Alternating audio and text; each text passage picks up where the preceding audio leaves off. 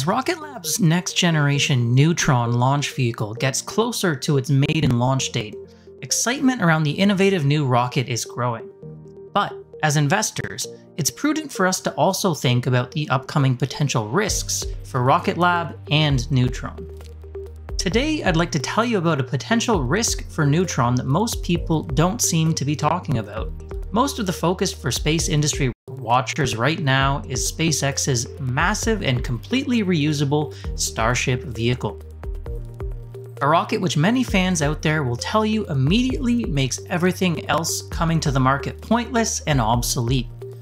But what if I told you that the first and most immediate risk for Neutron is not actually Starship itself, but rather what Starship will do to the current workhorse Falcon 9 rocket. It sounds crazy at first, I know, but let me explain.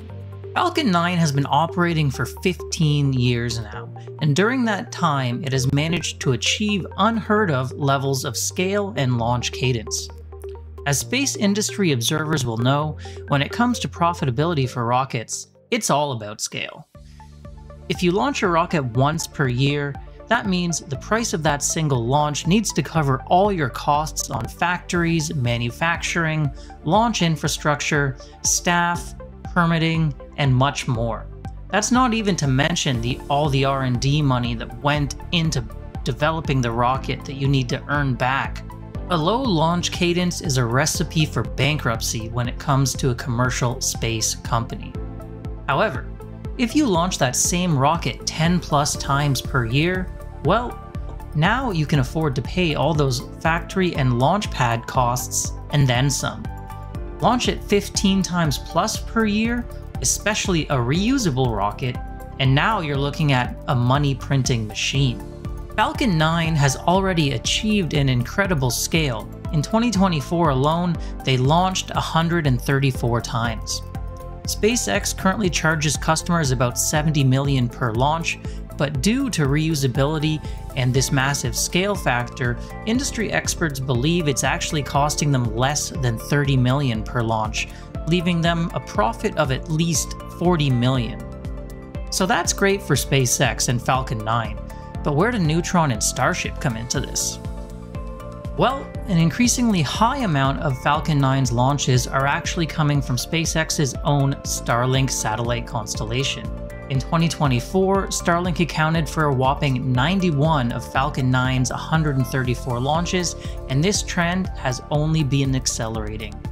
A quick look at this chart by Payload Space shows the rapidly increasing percentage of Falcon 9's manifest that has been devoted to internal Starlink use. However, Starship is set to change all of that very soon. The plan for SpaceX is that Starship is going to take over 100% of Starlink launches as soon as possible. In fact, SpaceX's next Starship test flight, planned for this week, already has Starlink mass simulators on board that they're going to practice deploying to get ready for the real deal. So what the industry is going to be left with very soon is a workhorse Falcon 9 that has achieved unprecedented scale, allowing them to reach launch costs of just 30 million, which is suddenly going to lose 70% plus of its payloads. This will be happening while Neutron is still ramping up their own cadence not yet having the benefit of scale themselves and therefore not able to launch quite as cheaply as Falcon 9. What is SpaceX going to do in this situation?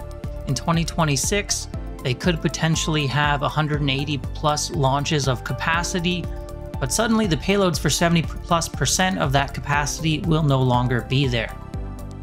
Generally in business, when supply outstretches demand, the answer is to decrease prices.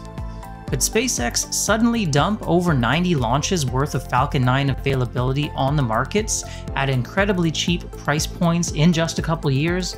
That's what we're talking about today.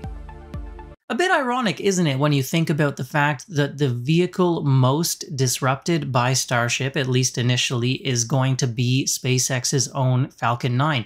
And before you say that I'm attacking SpaceX, I don't actually think this is a bad thing. I think when companies get scared to disrupt themselves, that's really when the beginning of the end comes. But companies that are brave enough to disrupt their own products generally, in the long run, do very well and continue to innovate. What comes to mind for me is when Apple disrupted the iPod with their own iPhone. Obviously, the iPhone went on to be an immensely successful product in the long run. So I think it is a good move from SpaceX, even though they are disrupting their Falcon product most of all right now. That all being said, I do expect SpaceX to gradually scale down the operations of the Falcon program and do less and less launches per year as those Starlink launches do get taken over by Starship.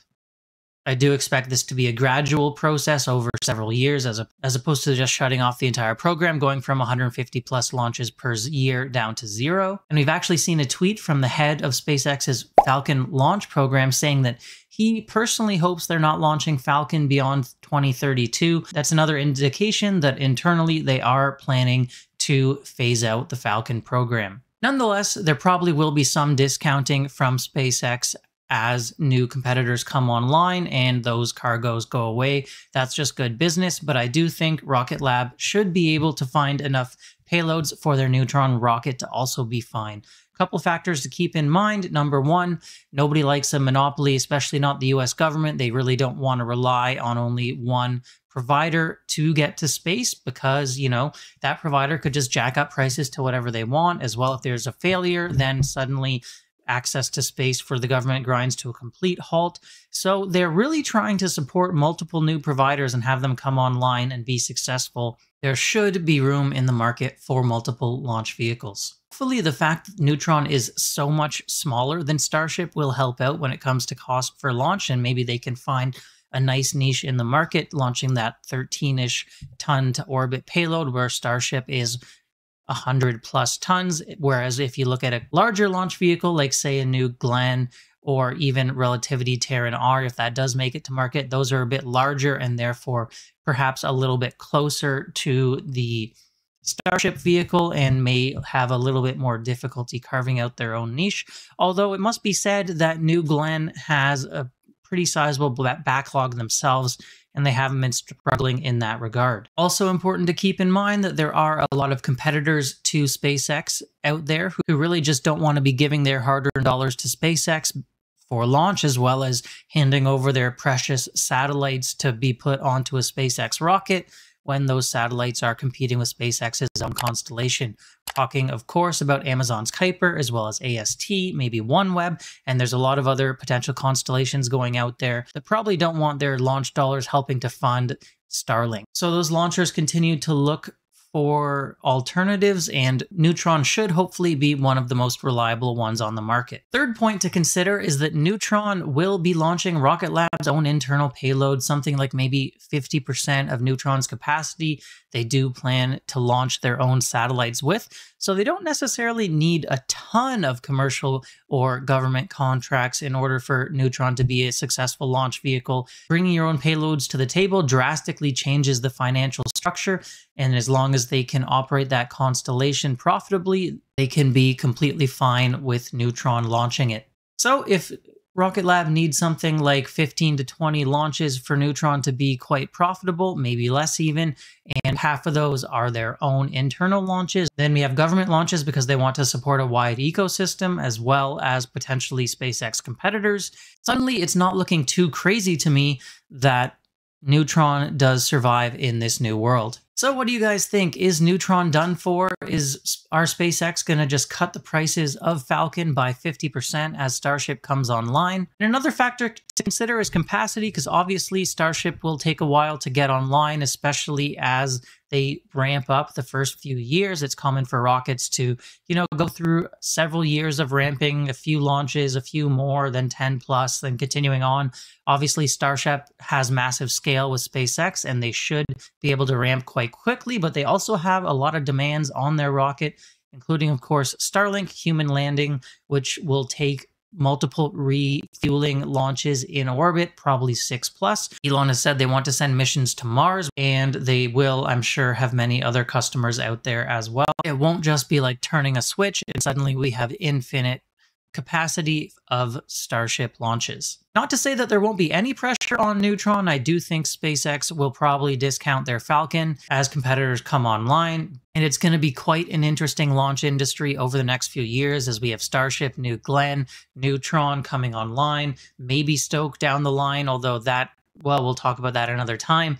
Firefly's MLV, personally, I'm not too worried about when it comes to Neutron competitors.